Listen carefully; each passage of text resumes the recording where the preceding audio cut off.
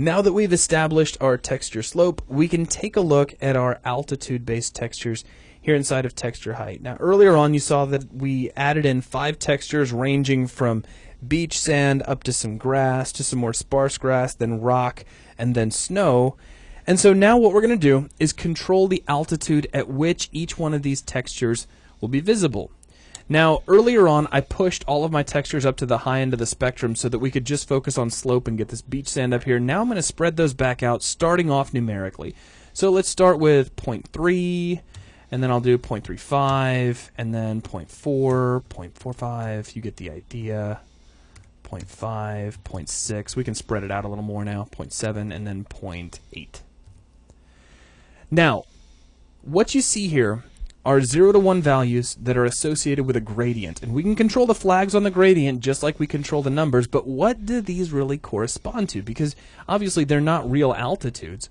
They correspond to the maximum height of your terrain starting from the bottom. So if we go under the terrain resolution for this particular piece of terrain, you'll see our terrain height is set to 100. So you can consider this particular gradient starting at 0 and running up to 100. Now, we can control exactly where these textures go based on just the numbers if you want, but I mean, we're lucky in this case because 0 to 100 is a pretty easy factor to work with, but I like working with the flags anyway. So we can start with texture number 1, and notice as I drag the flag over for texture 2, we are also controlling the blending from 1 to 2, and that's an important thing to keep in mind. So I'm just going to space these out fairly evenly and click Apply Procedural Texture and check out what we get. We start off at the very bottom with our beach sand, and then we blend up to grass. Then we blend up to our sparse grass on rocks, then just the rocks, and then we have some snow on top. Now, if we want that blending to be a little bit less prevalent, if we actually want some tighter banding, all we need to do is push these start and end flags a little closer together so we can push 1 and 2 closer together, two and three closer together, three and four closer together, and then four and five, which I'll leave five a little spaced out so the snow kind of drifts off. Then we click apply, and now you can see much tighter banding. So again, just a really, I just wanted to show a quick example to show how these uh, elevation-based textures are being calculated.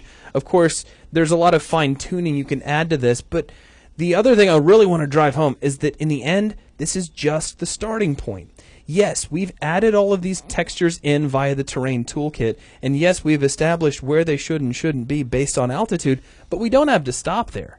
At this point, we're essentially done with what the terrain toolkit's going to do for us, so we can close it. We can jump back up to our terrain tool settings, and as soon as we jump into texture, check it out. All of the textures that we've added are now here waiting for us. So if we think, you know, well, that looked pretty good, but you know, the beach sand could go up a little higher here in these areas. All we have to do is select our sand, adjust our brush settings accordingly, and we can start painting.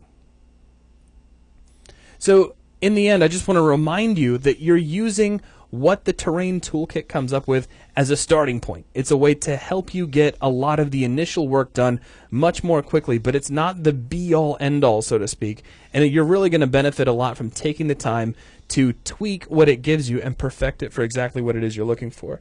That's going to wrap things up for this video. Thanks for watching.